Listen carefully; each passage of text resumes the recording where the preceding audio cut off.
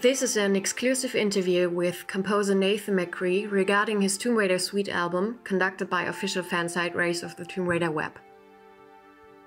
Nathan, you have just announced that the Kickstarter campaign to record the Tomb Raider Suite at Abbey Road Studios in London will be launching in mid May 2017.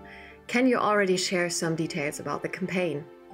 Yes, so um, our launch date is actually Friday, the 26th of May 2017 and we are launching at 00 GMT. The campaign will run for 30 days and we're trying to raise money to record the Tomb Raider Suite, uh, which is a collection of the most popular tunes from uh, Tomb Raiders 1, 2 and 3. Um, many of those tunes have been extended with new material, which hopefully I've written in a similar style to that, uh, uh to what I did 20 years ago. And the plan is to record um, the album using one of the best orchestras in England at the most famous uh, studio in London, Abbey Road. The fans have been so excited about your announcement at PAX East last year and were eager for any kind of news regarding your Tomb Raider suite. How do you feel right now that you officially let the cat out of the bag as far as the album is concerned? Uh, well, it's a really amazing experience actually because you know I've been chasing this project for about 20 years as it happens, um, and you know all through that time fans have been emailing me asking me, you know, where can they buy the soundtrack? You know, um, when am I going to release it? Um, and unfortunately, I've had to say no so many times over the years. I've approached Eidos and then Square Enix and uh, I put together a business plan and we discussed that and they were uh, extremely happy about that. That's all signed and done now, so you know I have uh, 100% backing from Square Enix and from Crystal Dynamics. So this is a fully sanctioned project. Um, and so, yeah, you know, it feels absolutely amazing to have their support finally, and um, also to be able to tell the fans that um, you know, the album is, is finally coming. It's on its way. Are there any plans yet with regard to special editions of the album, for example, releasing a vinyl or collector's edition? Uh, yes, there will be uh, limited edition deluxe tin double CDs, um, which I will sign. Um, there's also going to be a limited edition uh, vinyl double album, which I will also be signing. So they will be special to the Kickstarter campaign only. Um, there will also be other merchandise, uh, which I'm also going to sign again, which um, you will only be able to get through the Kickstarter campaign. So yeah, there's something special in there um, for you know all those collectors that, that, that want those kind of items.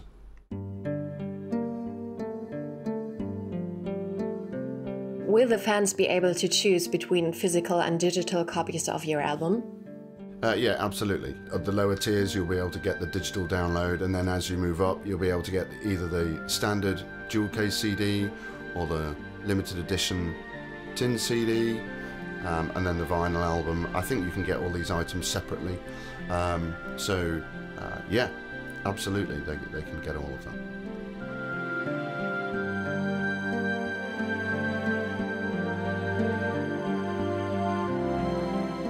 At PAX East 2016, you also talked about a documentary feature film about the entire remaking process of the Tomb Raider music. Can fans still hope for this film to be made? Uh, yes, indeed. Um, it is detailed as one of our stretch goals in the project description on the Kickstarter uh, webpage. So, um, you know, if we are fortunate enough to, to get that extra funding, that is definitely something which we're going to do. Um, you know, again, I, have I've got a team in place to kind of take on that leg of the project. So um, it really is just down to the funding. You know, again, we have full support from Square Enix and, and Crystal Dynamics to do this. So um, yep, it's still happening. It's still up there. um, so please support the project, and it will happen.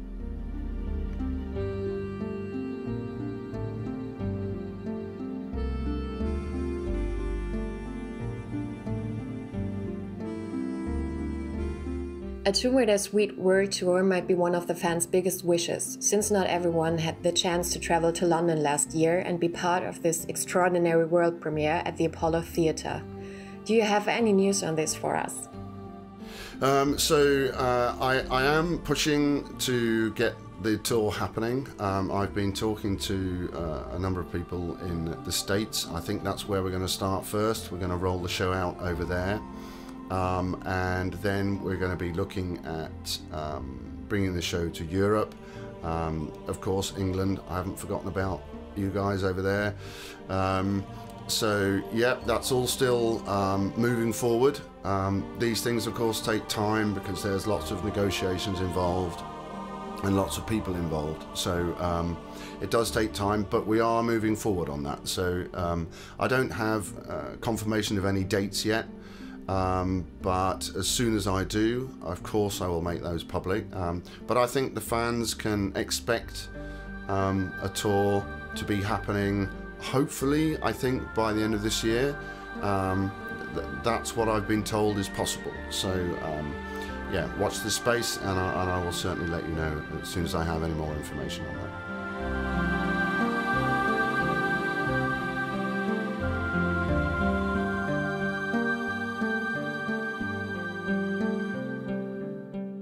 This year marks the 20th anniversary for Tomb Raider 2. The game was released October 31, 1997. May we speculate that if the Kickstarter campaign is a success, the album might be released around October to celebrate the 20th anniversary of Tomb Raider 2?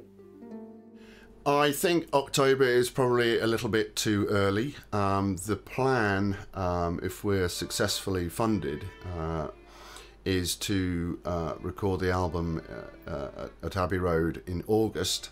Um, but then we're going to need some time for uh, mixing and mastering and of course the uh, mass production and, and, distribution. So it's probably more likely going to be November. I think that's the date uh, or that's the month which I've specified in the Kickstarter campaign. So hopefully that's not too late and we can still kind of say that we made the 20th anniversary of Tomb Raider 2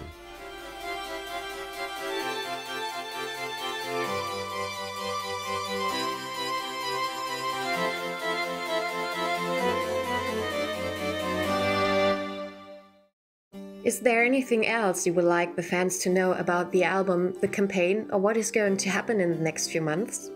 Certainly, for the 30 days during the campaign, uh, I'll be updating the fans about where we are, how well we're doing, this kind of thing. I would just like to thank all the fans for their continued support, um, all the emails that I've been getting over the last 20 years. I think without those, I would have probably given up on this project a long time ago. So I really am very grateful to, to them and their continued support. If you guys want this album, just invest and it will happen. If you want evidence of, of how good this is going to be, check out the In the Blood promotion video which I made of the show in London.